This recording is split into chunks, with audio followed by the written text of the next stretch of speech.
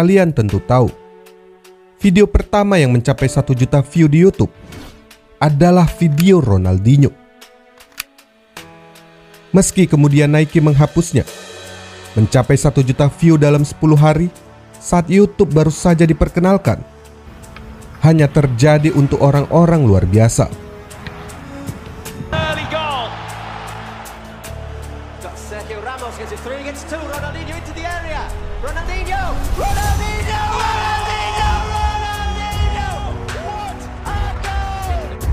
Ya, karena pada masanya Ronaldinho adalah yang terbaik di dunia.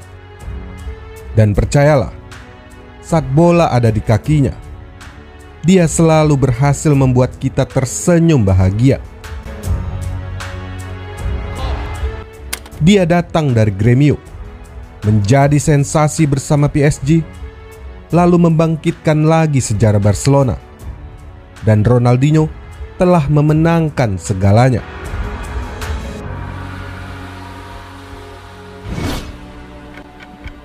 Dia datang ke Milan sebagai bintang.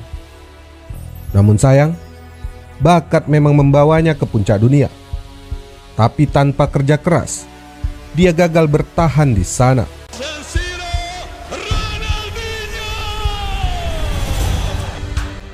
Lantas, seperti apa kisah roller coaster kehidupan Ronaldinho? Yang bangkit dan memenangkan dunia, lalu dikabarkan bangkrut, dipenjara, dan hanya memiliki 5 pound sterling di rekeningnya. Simak kisahnya.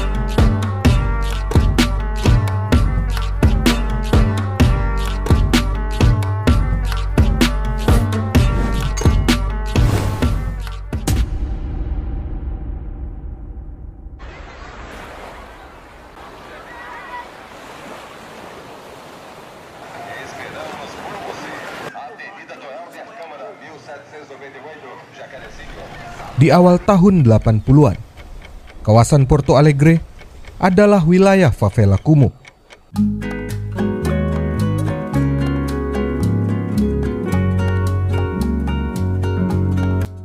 Dan saat Ronaldo de Assis Moreira lahir di sebuah rumah kayu di daerah perbukitan, kondisi keluarganya juga sangat miskin.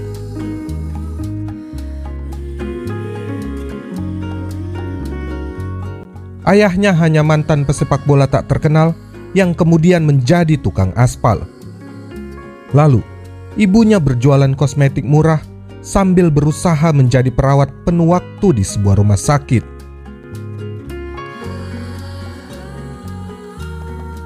Ronaldo kecil yang sering dipanggil dengan sebutan Roni ini sangat menyukai sepak bola, terutama futsal.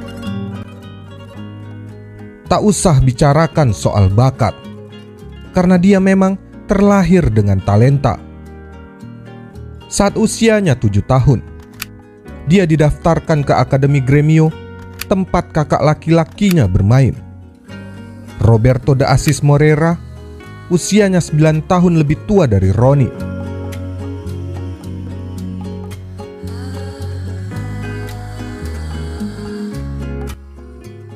Di akademi itulah dia mendapat julukan Ronaldinho. Inyo yang berarti kecil karena dialah pemain termuda dan bertubuh paling kecil di tim. Keluarga mereka beruntung karena karir Roberto mulai bersinar. Saat menandatangani kontrak profesionalnya dengan Gremio, Roberto meminta sebuah rumah yang cukup mewah dengan kolam renang dan mereka pindah ke sana. Roni begitu bahagia karena dia bisa sekamar di akademi dengan kakaknya. Ah, aku bahkan bisa sekamar dengan idolaku. Dan Roberto menyayangi adik kecilnya lebih dari apa pun. Sekalipun jadwal latihannya padat, dia selalu menyempatkan waktu berlatih berdua dengan Roni. Sayangnya, kebahagiaan keluarga itu di rumah baru mereka tak berlangsung lama. Karena sang ayah, Wow de Asis Moreira, yang juga bekerja sampingan di klub Gremio, meninggal akibat terjatuh di kolam renang.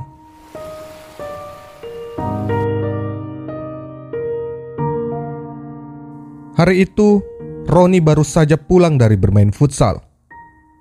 Dia mendapati rumah mereka ramai. Dia mengira ada pesta karena kakaknya berulang tahun. Tapi, mengapa ibunya malah menangis? Roberto membawa Roni ke kamar mandi. Sambil memeluk adik kecilnya, dia berkata, "Ada kecelakaan. Ayah telah tiada. Dia meninggal." Itu tak masuk akal baginya. Tidak mungkin ayahnya pergi selamanya. Bagi Ronaldinho, ayahnya adalah pahlawan. Satu-satunya orang yang mengatakan agar dia menjadi orang yang jujur dan bermain bola dengan gayanya sendiri. Ayahnya selalu percaya padanya. Bahkan saat Roberto memulai karir profesionalnya di Gremio, ayahnya selalu bilang ke semua orang, Roberto bagus, tapi lihatlah saat adiknya muncul. Ayahnya sangat mencintai sepak bola. Cinta itu juga dia turunkan pada kedua anaknya. Jadi, kenapa dia tak bisa melihat ayahnya lagi? Roni tak bisa menerima apa yang kakaknya katakan. Dia tak langsung merasa sedih saat ayahnya meninggal, tapi kesedihan itu tumbuh dan semakin melukainya dari waktu ke waktu. Sejak kematian ayahnya, Roberto menggantikan peran ayah bagi Roni. Apalagi ibu mereka juga menikah lagi. Dia mencoba meneruskan karirnya sambil terus menjaga dan melatih Ronaldinho. Hal inilah yang di kemudian hari membuat Roni meletakkan 100% rasa percayanya pada Roberto. Meskipun sang kakak terkenal dengan reputasinya yang serakah. Roberto membantu Gremio memenangkan tiga gelar kompetisi negara bagian. Rio Grande do Sul berturut-turut pada tahun 1988, 1989, dan 1990.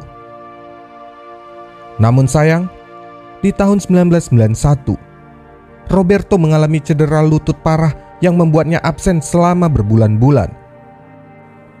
Gremio menjualnya ke Sion dia sempat dipinjamkan ke beberapa klub seperti Sporting Lisbon, Vasco da Gama, hingga Fluminense sebelum kembali ke Sion pada 1996. Karirnya menurun, namun nama adiknya mulai bersinar. Sejak itu, Roberto meninggalkan karir sepak bolanya. Berbekal pengalamannya di Eropa, dia memilih menjadi agen sang adik mengurus segalanya untuk Ronaldinho. Dan petualangan Ronaldinho pun dimulai.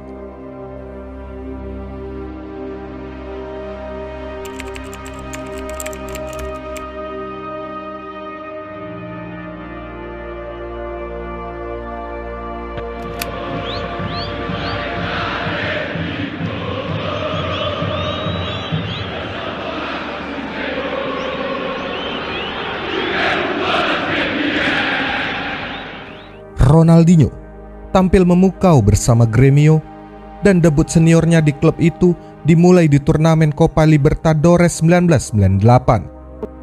Olha o Ronaldinho, bateu direto, pá, à direita do gol do André. Ronaldinho, que bela cobrança, mas você vai ver na repetição. Olha só o lençol, que beleza! Gol! Tahun berikutnya, dia diundang untuk bergabung dengan tim nasional senior Brazil untuk berlaga di Piala Konfederasi di Meksiko. Brazil berhasil finish di posisi kedua, dan Ronaldinho memenangkan penghargaan bola emas sebagai pemain terbaik turnamen, serta penghargaan sepatu emas sebagai pencetak gol terbanyak. Dia memang ditakdirkan menjadi bintang. Borussia Dortmund memberikan tawaran. Leeds bersedia membelinya dengan nilai 42 juta pounds. Padahal, nilai tertinggi pemain kala itu hanya di angka 32 juta. Dari London, Arsene Wenger bahkan hampir menyelesaikan kesepakatan untuk kepindahannya. Namun transfer itu batal karena masalah izin kerja pemain asing di Liga Inggris.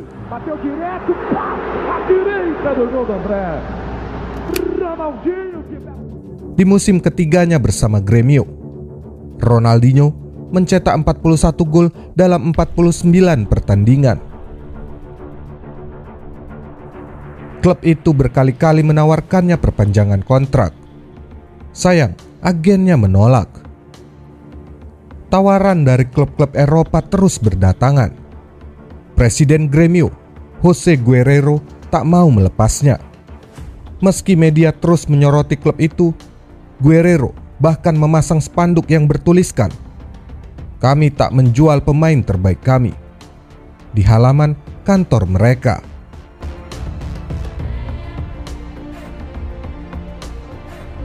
Namun, di awal musim 2001-2002, dia bergabung dengan PSG. Kakak yang menjadi agennya bahkan sudah membangun kesepakatan itu di musim sebelumnya. Itu tentu melanggar aturan. Gremio marah. Fans klub itu menuduh Ronaldinho sebagai pengkhianat. Apalagi ada sebuah kesepakatan di sepak bola Brazil. Seorang pemain tak boleh pergi secara gratis. Dia harusnya memperpanjang kontrak agar tak pergi secara cuma-cuma. Gremio dan PSG membawa masalah itu ke pengadilan. Selama proses hukum berlangsung, Roni tak bisa bermain karena aturan dari FIFA. Dia memilih tinggal di ibu kota Brazil, Rio de Janeiro, berlatih sepak bola sambil belajar bahasa Prancis. Pertengahan Agustus 2001, PSG akhirnya bisa memainkan Roni. Ia mendapatkan nomor punggung 21 dan bermain bersama JJ Okocha, Nicolas Anelka, Mauricio Pochettino, Gabriel Hens, Mikel Arteta, serta dua pemain Brazil lainnya, Aloisio dan Alex Diaz. Gol pertamanya baru dicetak di bulan Oktober lewat sebuah tendangan penalti saat mereka melawan Lyon.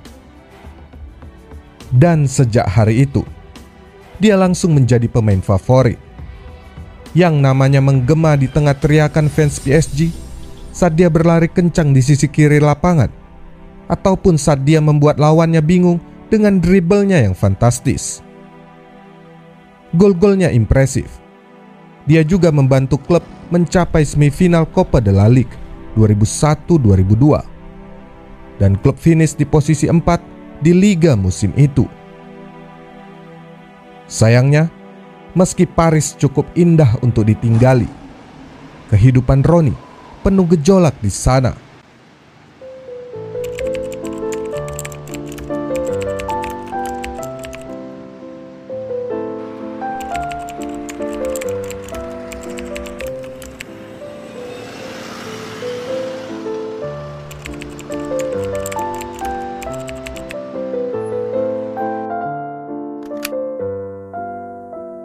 Dia terus-menerus cekcok dengan pelatih PSG saat itu, Luis Fernandes.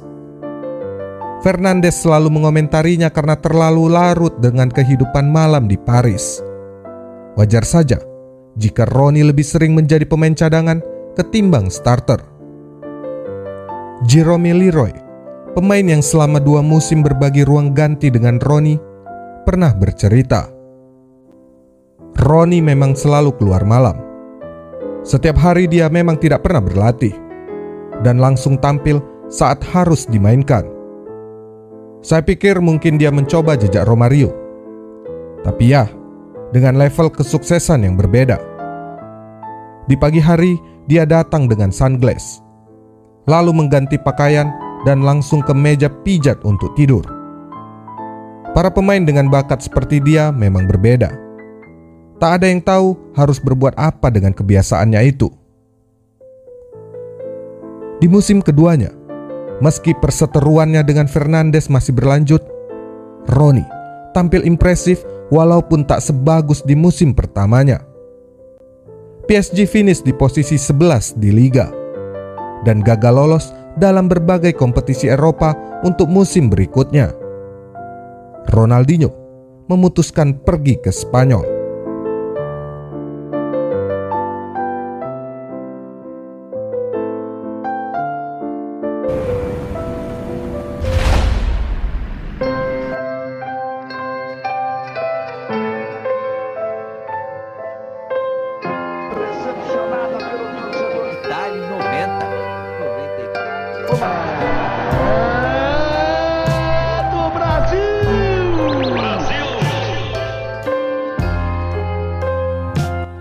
Ronaldinho tampil mewah di Piala Dunia 2002. Pertandingan debutnya adalah saat Brazil melawan Turki. Turnamen Piala Dunia yang dimenangkan tim Samba itu tak hanya mempertontonkan permainan Jogo Bonito yang indah. Ronaldinho yang menari-nari di lapangan adalah sisi lain yang membuat banyak orang terhibur. Dan baginya, bermain di timnas Brazil seperti mimpi yang menjadi kenyataan. Aku bermain untuk Brazil untuk periode yang luar biasa. Aku bisa bermain dengan orang-orang yang menjadi pahlawanku. Pahlawan yang dalam waktu singkat menjadi temanku. Setiap kali aku dipanggil untuk bermain dengan mereka, rasanya seperti impian yang jadi kenyataan. Bahkan hingga hari ini, aku selalu grogi. Baik itu saat setiap kali kucium Ronaldo di pipinya, saat bertemu Rivaldo, atau saat berada di tempat yang sama dengan Roberto Carlos dan Cafu. Kebersamaan yang membuatku selalu merasa sangat emosional. Mereka akan selamanya menjadi pahlawan bagiku. Piala dunia itu juga membuat banyak kesempatan yang luar biasa untuknya. Salah satunya, dia hampir saja menjadi pengganti David Beckham di Old Trafford.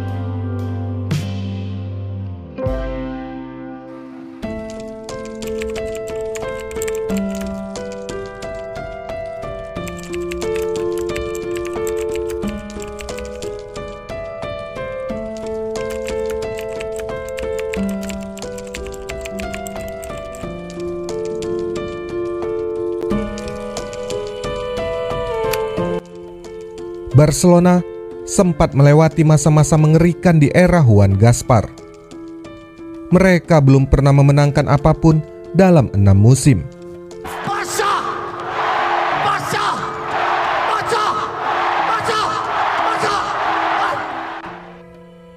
Di akhir musim 2002-2003, Barca finish di posisi 6. Klub itu benar-benar membutuhkan perubahan. Dan Juan Laporta saat itu sedang mencalonkan diri untuk menjadi presiden Barca. I'm confident to win because we did a very great campaign. We have a very important project for Football Club Barcelona. Dalam kampanyenya, ia berjanji akan membawa David Beckham ke Camp Nou. Kita tentu masih mengingat saat Sir Alex melempar sepatu ke wajah Beckham setelah kekalahan MU di Piala FA 2003 dari Arsenal. Saat itu, semua orang yakin dia akan segera meninggalkan Old Trafford. Banyak yang mengira dia akan menerima tawaran sebesar 25 juta pound sterling yang diberikan Barcelona jika Laporta memenangkan pemilihan. Selain Beckham, alternatifnya adalah Thierry Henry dan Ronaldinho.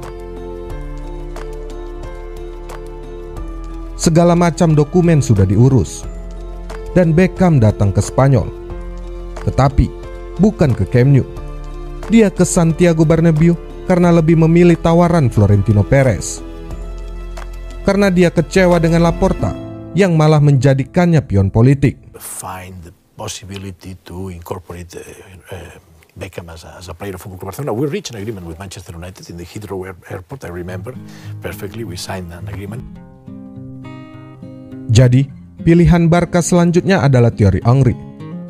Tapi pemain berjulukan El Mimo itu tak berminat meninggalkan Arsenal. Jauh di Old Trafford, Sir Alex menantikan kedatangan Ronaldinho. Dia sudah lama mengontak PSG dan pemain Brazil itu akan mendarat di bandara Manchester. Sayangnya, ketika Ronaldinho tiba, Manchester sedang hujan. Agenda untuk membawanya berkeliling klub gagal. Sir Alex mengalihkan sasarannya pada Cristiano Ronaldo yang saat itu masih bermain di Sporting Lisbon. Dalam biografinya, Sir Alex bercerita, "Saya telah menyetujui kesepakatan untuk membawanya ke Old Trafford. Carlos Queiroz sudah di Paris dan membuat jaminan. Upaya untuk membeli Ronaldinho mencerminkan fakta bahwa United selalu menggunakan pemain-pemain handal. Saya selalu mencari bakat semacam itu. Lagi pula, kami mendapat 25 juta pound dari Beckham. Dan kami mendapatkan Ronaldinho hanya 19 juta pound. Mungkin jika saat itu cuaca sedang baik, dia akan bergabung bersama kami. Lagi pula sejak awal, keinginan Ronaldinho adalah bermain di Barcelona. Terutama karena kedekatannya dengan Sandro Rosell, calon wakil presiden Barca kala itu. Selain itu, tentu atas saran sang kakak. Aku mungkin hampir bermain untuk MU. Tapi kakakku telah menganalisis apa yang harus kulakukan selepas bermain dengan PSG. Aku adalah pemenang Piala Dunia dan banyak pintu yang tentu terbuka untukku. Jadi, saat Sandro terpilih, aku punya kesempatan untuk melihat Barcelona dan kotanya. Pilihan itu tentu semakin mudah. Ronaldinho uh, was uh, a great player, but uh, I think that he became the best player of the world in Football Club Barcelona.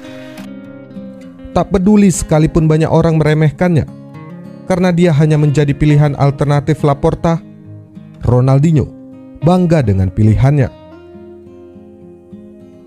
Ada banyak sindiran untuknya. Salah satunya datang dari Roy Keane.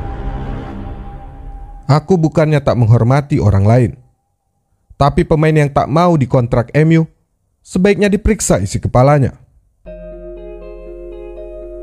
Tapi suara sumbang dari Barnabeu terdengar lebih menyakitkan karena mempersoalkan penampilannya.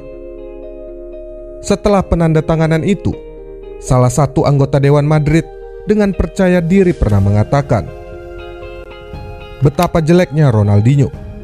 Tak ada untungnya membeli dia. Dia tak bernilai. Dia begitu jelek sehingga akan membuat brand kalian tenggelam. Antara Ronaldinho atau Beckham, aku akan memilih Beckham 100 kali.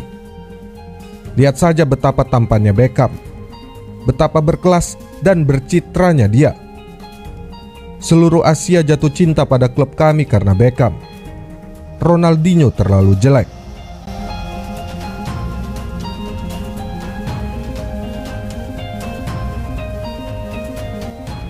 Tapi tak lama setelah itu, banyak orang tentu mengakui betapa beruntungnya Barca dengan Ronaldinho di dalamnya.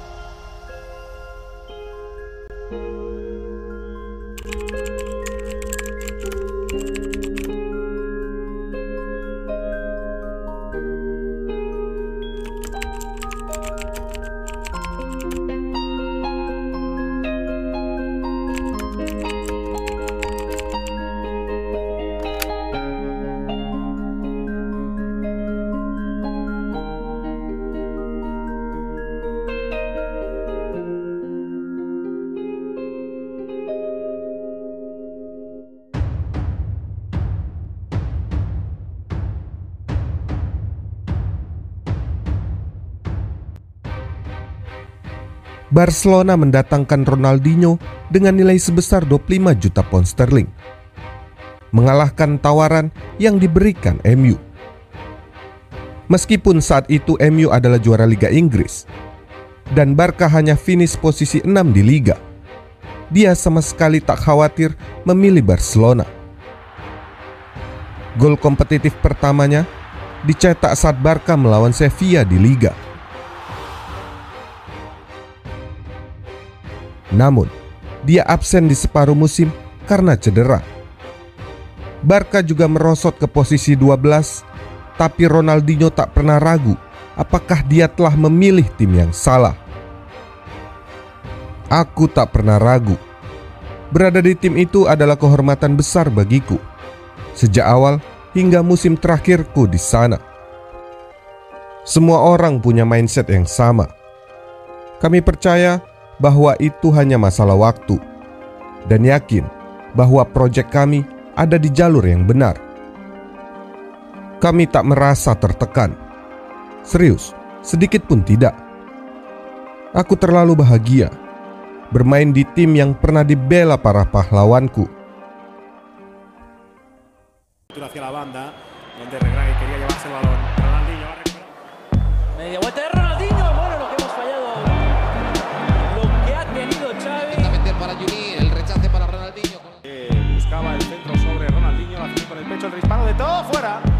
Ese balón que ha salido. Rápidamente a Deco. Benar saja, saat dia kembali dari cedera, dia menyumbangkan 15 gol. Klub memenangkan 15 dari 20 pertandingan mereka di liga dan finish di posisi 2 di bawah Valencia yang saat itu diasuh Rafa Benitez. Wajar saja jika Xavi Hernandez memuji Ronaldinho sebagai pemain yang merubah sejarah. Karena kedatangannya ke Barca memang menjadi awal dari kebangkitan lagi Blaugrana. Di musim 2004-2005, Ronaldinho membawa Barcelona kembali ke puncak sepak bola Spanyol. Perubahan besar terjadi musim itu. Keluarnya Luis Enrique, Mark Overmars, Clifford, Davids, dan Koku yang digantikan Samuel Eto'o, Deco, dan Julie dengan total pembelian senilai 55 juta pound sterling membuat mereka merebut lagi gelar La Liga yang telah gagal diraih selama enam musim. Roni dinobatkan sebagai pemain terbaik dunia FIFA. Dia membuat Barca dan Cules kembali tersenyum lagi. Tak lama, klub menawarkan perpanjangan kontrak hingga 2014. Tapi dia menolaknya. Chelsea were looking to avenge 2-1 opening leg defeat to Barcelona in the last 16, with Blues manager Jose Mourinho particularly keen to prove a point to his former employers. 8 Maret 2005 di turnamen Liga Champions, Ronaldinho mencetak gol ikoniknya di Stamford Bridge. Oh.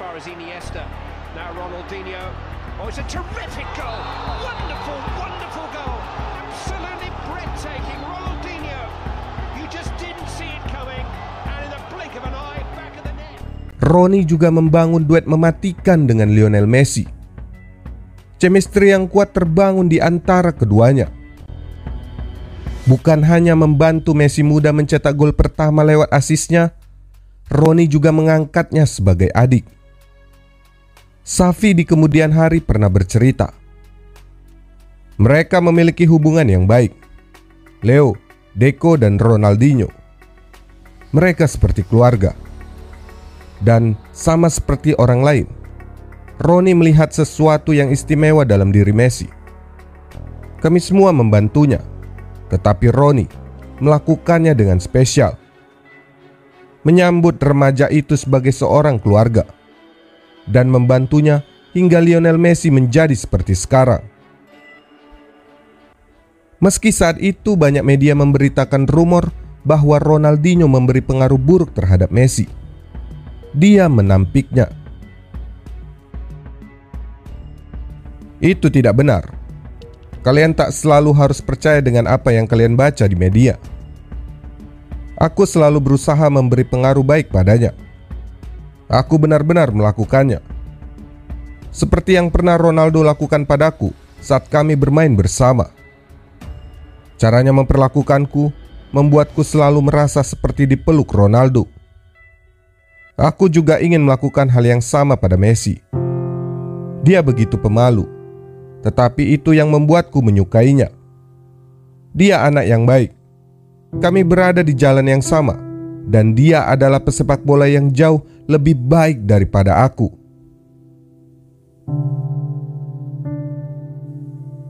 Di akhir tahun 2005, Ronaldinho memenangkan banyak penghargaan pribadi. Dia menjadi pemain terbaik dunia FIFA lagi dan terutama memenangkan Ballon d'Or. Dominasinya di dunia sepak bola kala itu benar-benar tak tertandingi. Tak lama sebelum penghargaan itu, Ronaldinho memukau Madridista di laga El Clasico yang digelar di Bernabeu. Sergio Ramos mungkin masih bermimpi buruk karena pertandingan itu. Itu adalah debut sang defender muda di El Clasico. Dan di depan matanya, Ronaldinho menari dengan bola di kakinya lalu mencetak sebuah gol yang indah.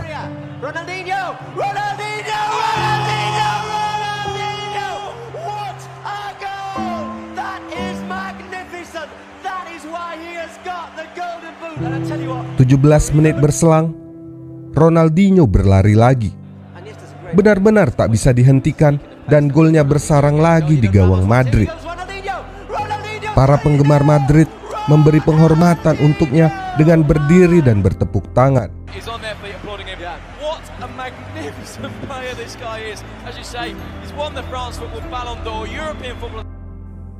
Roni mengenang.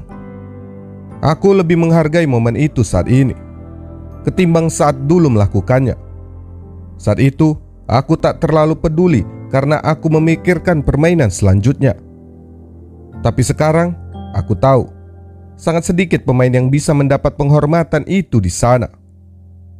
Saat ini, aku tiga kali lebih bahagia setiap kali mengingatnya. Ternyata, ada sebuah hal unik yang dilakukan Roni sebelum pertandingan El Clasico yang monumental itu.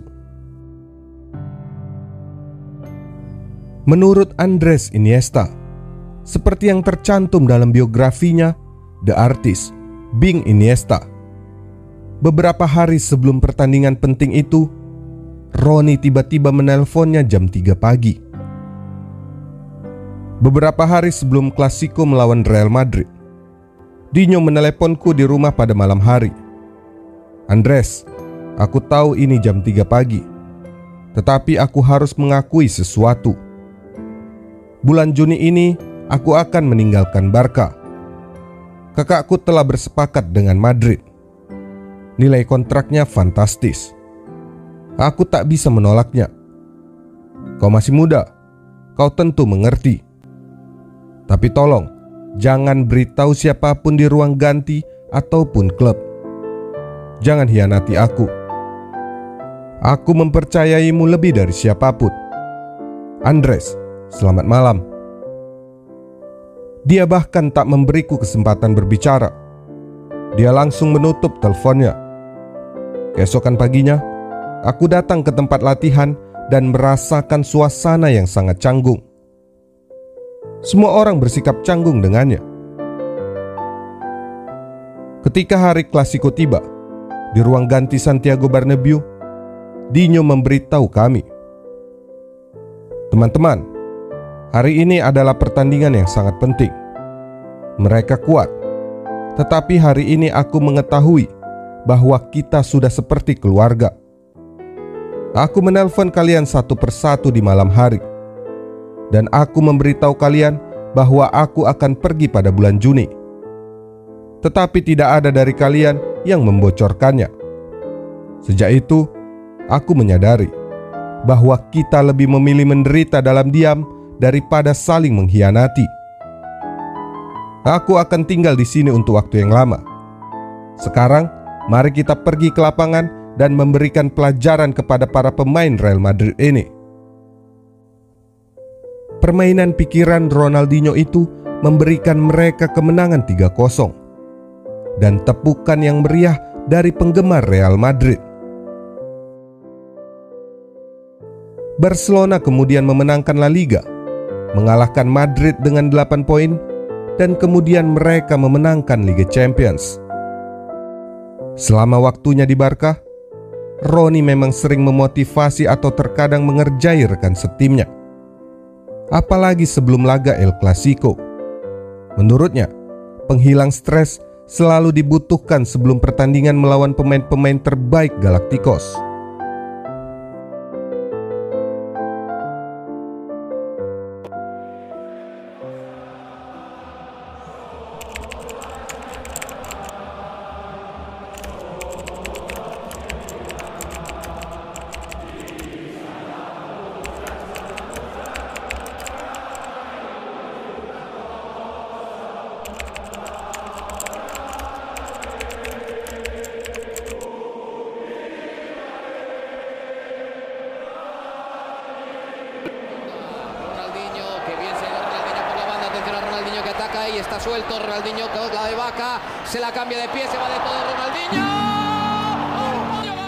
Frank Rijkaard mengandalkannya. Rekan setimnya apalagi. Tak perlu dipertanyakan bakatnya karena talentanya tak terkalahkan. Jadi, Ronaldinho adalah pesepak bola yang sempurna bukan? Tapi, sebelum melanjutkan musimnya yang lain di Camp Nou, kita sepertinya perlu melirik gaya hidupnya di luar lapangan. Terutama, kesenangannya pada pesta dan kehidupan malam di Barca. Scusa. No, non si può, non si può. Dia melakukan hal yang sama hampir setiap malam. Tak peduli besoknya akan ada pertandingan, tak peduli itu apakah final champion atau derby El Clasico yang keras. Menurut beberapa media Spanyol, nyaris setiap malam, Roni bersama teman-temannya akan memulai malamnya di restoran bintang 5 dengan hidangan mewah. Tentu, dia yang mentraktir mereka. Dia selalu menyapa penggemar dan dengan ramah memberikan tanda tangan atau berfoto. Setiap kali fans menyapanya di mana pun itu. Makan malam itu akan selalu dilanjutkan dengan pesta sampai pagi di pub ataupun diskotik kelas atas. Ronaldinho dikabarkan sangat suka menari. Back-back kelas dunia yang pernah berhadapan dengannya pasti sering melihat tarian Roni di lapangan, tapi dengan bola di kakinya. Namun, di nightclubnya, Roni akan menari dengan senyum yang lebih lebar. Senyuman dan tawa yang berbeda dengan yang kita lihat di lapangan. Kebiasaannya berpesta sering kali bisa ditolerir karena penampilannya tetap luar biasa di lapangan. Tapi faktanya, penampilan luar biasa akan ada batasnya jika tak disokong dengan kerja keras dan disiplin.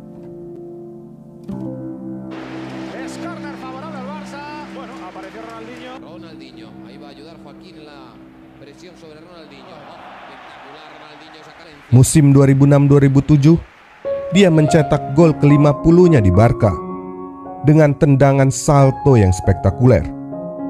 Ia telah memimpikan mencetak gol seperti itu sejak kecil.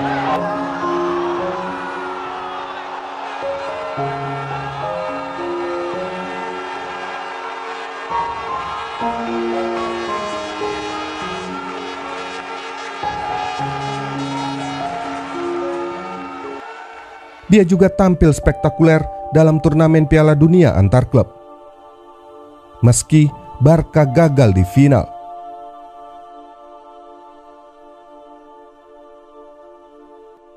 Mereka pun disingkirkan Liverpool di babak 16 besar Liga Champions. It's Liverpool who go into the quarterfinals, and Barcelona's hold on the European Cup is loosened. La Copa del Real Madrid, la Liga número 30 para el Real Madrid. Walaupun Blaugrana tak memenangkan liga karena kalah agregat dengan Los Blancos, dia mencetak 21 gol indah di liga musim itu.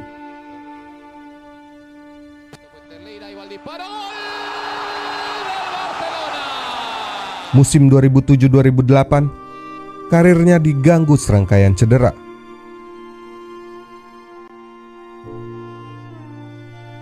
Setelah tiga musim yang benar-benar sukses dan memenangkan semua trofi utama bersama Barca, dia mulai menunjukkan penurunan performa, terutama karena gaya hidup dan tak disiplin berlatih. Barca finish di posisi ketiga di liga, dan Frank Rijkaard meninggalkan Camp Nou.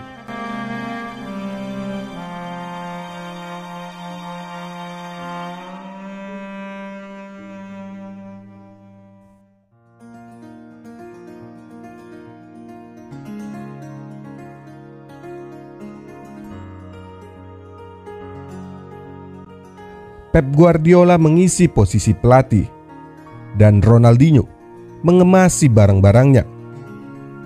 Dia menuju San Siro.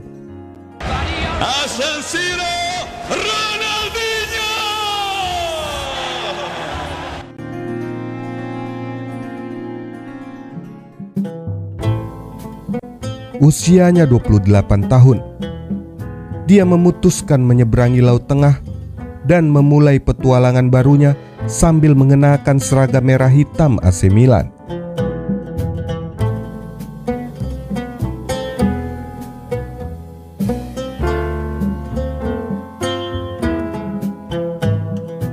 Dia bisa saja menetap di Camp Nou. Pep sempat memintanya, tapi dia menginginkan suasana yang berbeda. Waktu itu aku memilih pergi.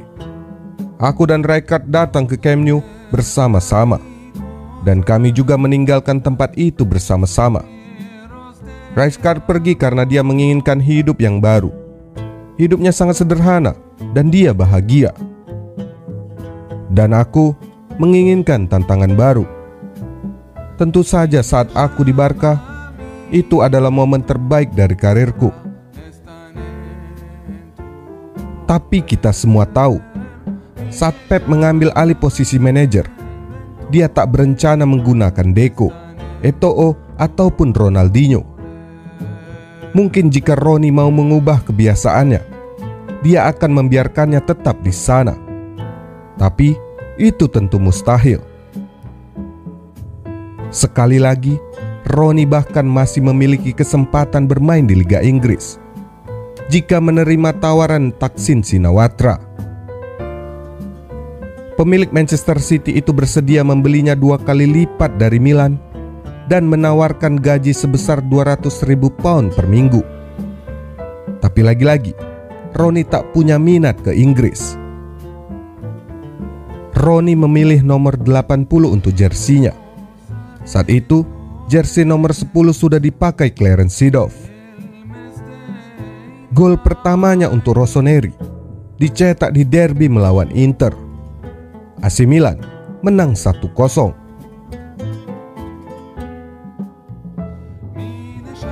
Dari 32 penampilan di musim pertamanya, Roni membukukan 10 gol.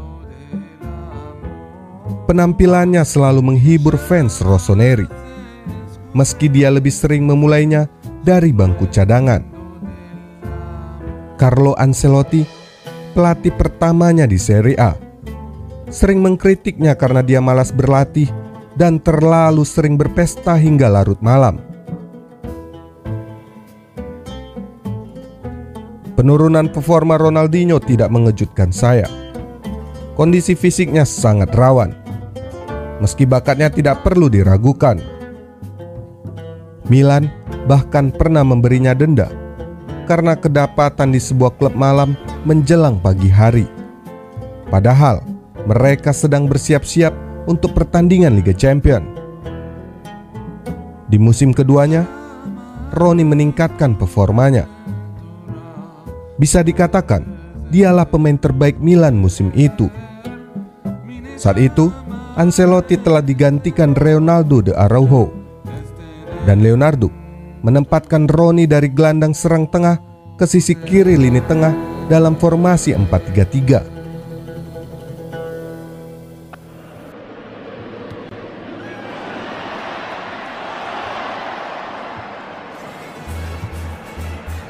Dua golnya saat bertanding ke kandang Juventus atau hat-tricknya saat melawan Siena di minggu berikutnya membuat Roni seolah-olah menyalakan lagi masa kemasannya. Lihat saja betapa briliannya dia saat Milan melawan Manchester United di Liga Champions. Meski Milan kalah 3-2 waktu itu. Di musim ketiga yang menjadi musim terakhirnya di Milan, Roni masih menjadi bagian dari lini serang Milan bersama Zlatan dan Robinho. Dia hanya bermain di separuh musim tampil pada 16 pertandingan, mencetak satu gol dan beberapa assist.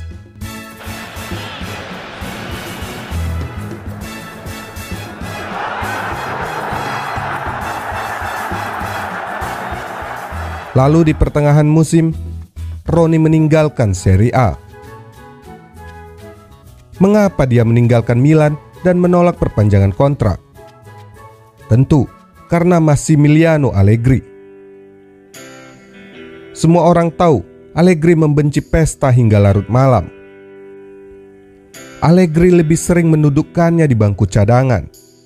Tak hanya itu, tindakannya juga lebih sering membuat Roni kecewa. Menurutnya, pelatih itu biasa memanggilnya dengan sebutan pupu, yang dalam bahasa Portugis berarti idiot. Salah satu fans Milan pernah diwawancara terkait pendapat mereka tentang Ronaldinho.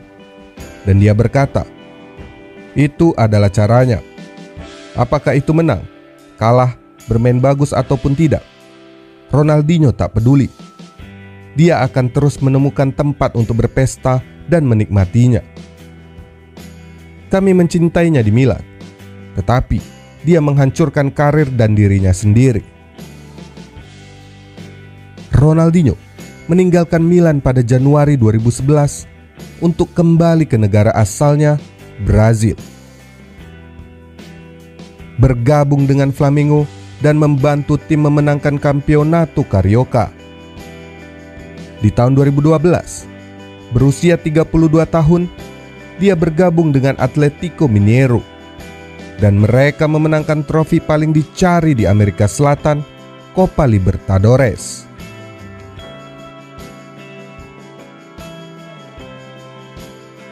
Dia sempat bermain semusim bersama Querétaro di Meksiko. Di sana, dia merasakan lagi bahwa passionnya terhadap bola bisa membuat banyak orang menghormatinya.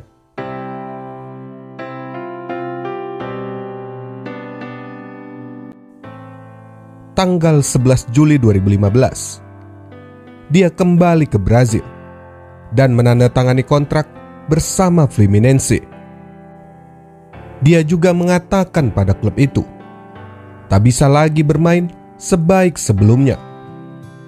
Tapi bagi klub itu, dia tetap spektakuler.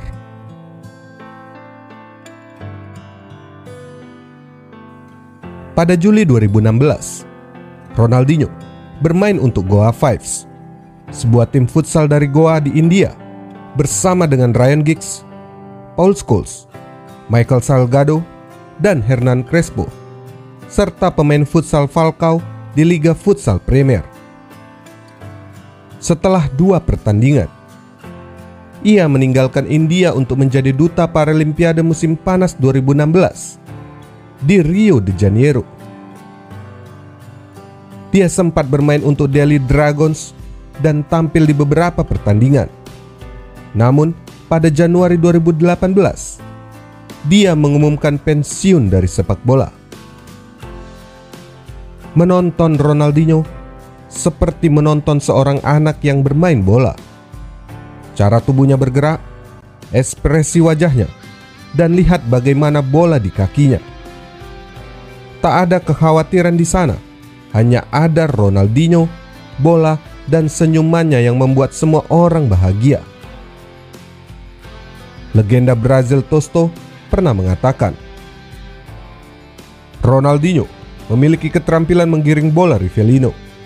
Visi Gerson, semangat dan kebahagiaan Garingka, kecepatan, keterampilan, dan kekuatan Jarzinho dan Ronaldo.